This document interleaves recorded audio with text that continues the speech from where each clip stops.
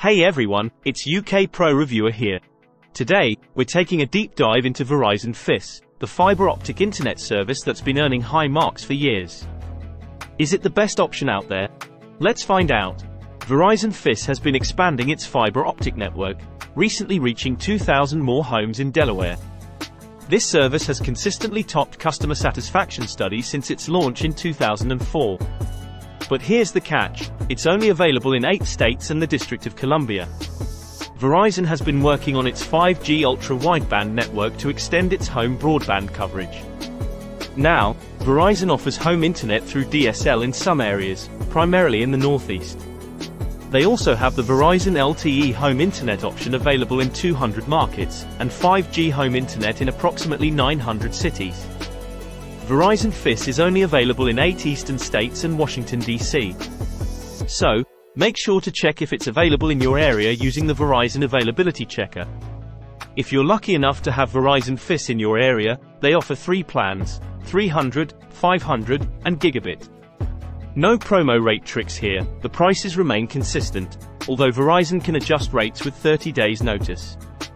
The best part of Fios is its near symmetrical download and upload speeds, perfect for video conferencing and file transfers.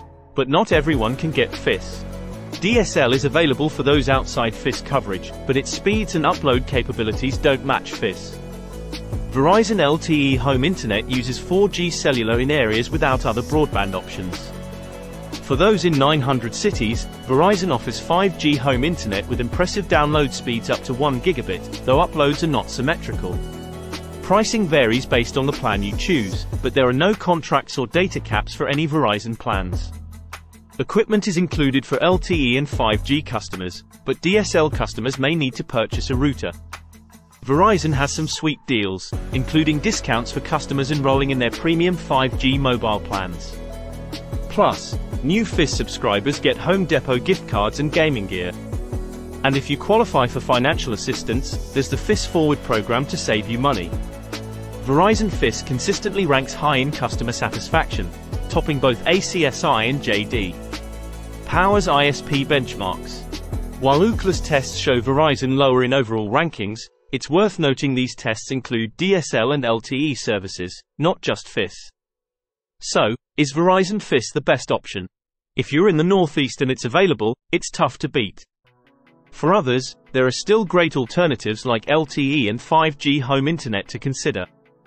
Verizon is working on expanding its coverage, so keep an eye on those updates.